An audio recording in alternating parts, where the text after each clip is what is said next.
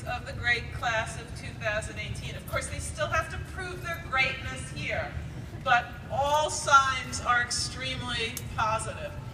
You hail, you parents and students alike, hail from nearly every state in our nation and 70 countries around the world. Just this, yeah, let's hear it for that.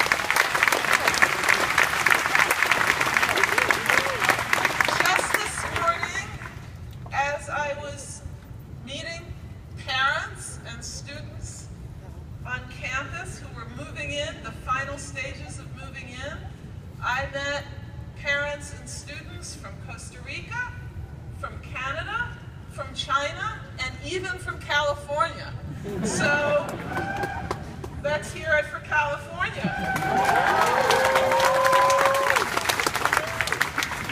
You all have something very important in common. From what I could tell, every single parent survived moving, right? So that's really important. But for many of you, this is an entirely new experience. So by a show of hands, let me see how many, for how many parents this is the first move-in. Okay, I also know, that's about half I'd say. For how many of you are what we call, just euphemistically, recidivists? How many of you are back moving a second or third or fourth student in to college? Yeah, it's about half, half and half. I won't ask for hands, but I know for a small number of you, this is the second or even the third child you've sent to Penn. To you, I say, bless you, we love you. I have, seriously, I have, as president, what may be a unique perspective on your child's future. And it's a perspective that allows me to see Penn as a whole, in its entirety. And I can best offer some insight in what to expect your child in the next four years by recounting a brief story from history. So at the turn of the last century, the U.S. Census Bureau sent out a, a comprehensive uh, account. They sent out a questionnaire and they did a survey to create a comprehensive account of various kinds of manufacturing plants that existed in America. Mind you, this is in around 1900. And they came up with a list of about 300 categories of industrial activity. And then they set out to find where, this was like a demography, a demographic account, where each kind of manufacturing activity took place. So I don't know if any of you are from Massachusetts, but here's what they found in Massachusetts. They found textiles were made in Lowell, paper in Holyoke, and shoes in Lynn. And so they went around and city by city, they found, not surprisingly, that certain kinds of manufacturing took place in certain areas. So why am I telling you this? Because, surprisingly, to their great surprise, there was one huge exception, and that was Philadelphia. In Philadelphia, they found that almost 90% of their entire list of activities was taking place in this city, in our city. Philadelphia did a lot of everything, and that is why it became known as the workshop of the world.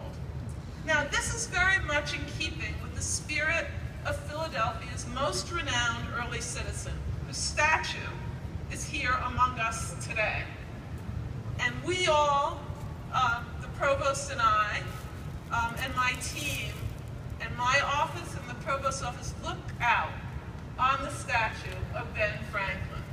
And he was famously a printer, an author, a businessman, a scientist, an inventor, a philosopher, a civic activist, a statesman, a diplomat, and of course, above all, above all, he was founder of a great university. So it is part of our heritage, which has existed from our founding down to the present day, which imbues the University of Pennsylvania to do many things and to do them exceedingly well. And that is why I'm telling you this story. The great thing about Penn, the unique thing about Penn, is the sheer breadth and scope of first-rate, groundbreaking intellectual activity that takes place in walking distance of where we all are here today, congregated. The great thing is that a 10-minute walk can take any student at Penn to all of our 12 great schools and to our many centers. And the greatest thing about a Penn education for your sons and daughters will be how much that they can get for their lives, for what they can do in the future, for what they do, the various things they do here at Penn. The stroll down Locust Walk may bring a chance encounter that will change not only your child's future, but the future world that they will help build. Acre for acre, square foot for square foot, our students are living in the middle of one of the highest concentrations of intellectual discovery. You may be wondering about the helicopters coming back and forth. Those helicopters are often bringing organs, life-saving organs, to our hospital and health system.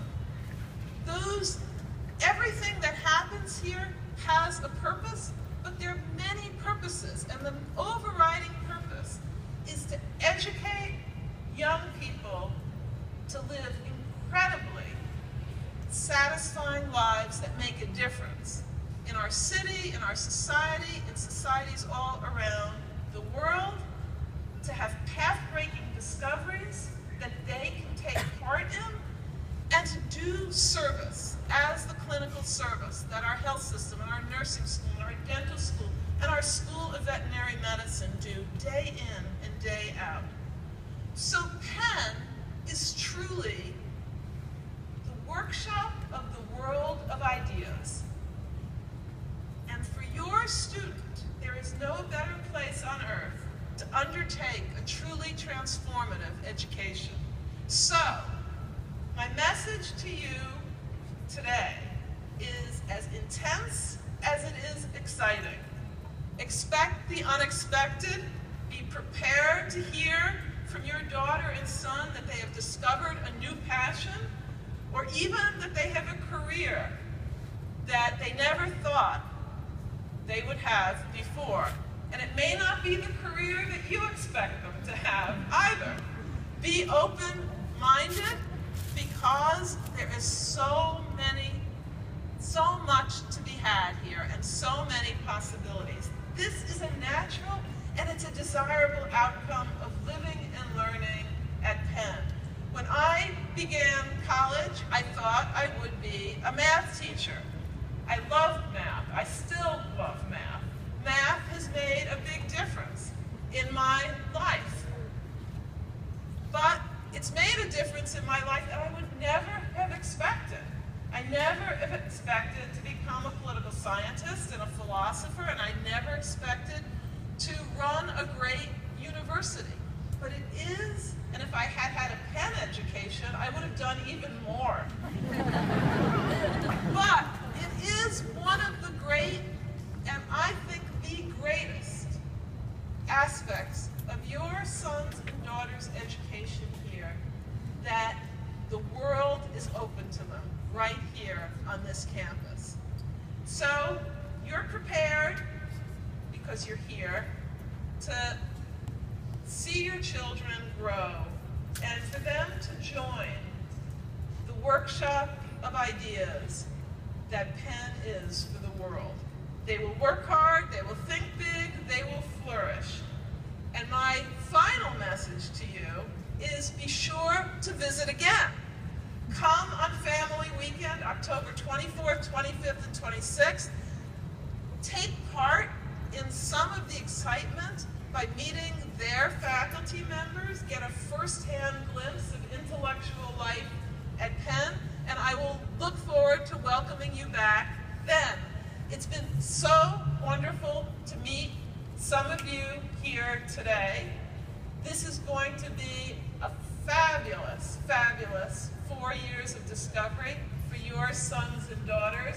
I wish you all safe travels, and I hope that you get some of that intense excitement too about the wonderful workshop of ideas that Penn is for the world. But most of all, I hope you do find, as I find when I see our freshmen grow, so much pleasure and satisfaction in seeing the creativity, the discovery, and the maturity that happens when Penn's workshop of the world of ideas takes and shape into what is unpredictable, unpredictable discoveries and achievements of this great class of 2018.